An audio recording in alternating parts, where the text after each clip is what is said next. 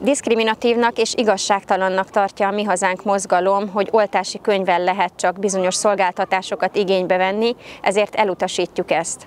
Ez korlátozza az emberek szabadságát, ráadásul különösen igazságtalan már olyankor bevezetni ezt, amikor még az oltásra jelentkezők mindegyike sem kaphatta meg a saját vakcináját. A nyáron mindenkinek lehetősége lesz arra, hogy beoltassa magát, aki fél a vírus kockázatától, de elutasítjuk azt, hogy bármilyen hátrányos megkülönböztetés érje azokat, akik nem szeretnének élni ezzel a lehetőséggel. Ráadásul azért is észszerűtlen ezt bevezetni, mert nem tudjuk, hogy a különböző mutánsokkal szemben mennyire hatékony védelmet tudnak nyújtani a jelenleg elérhető oltások.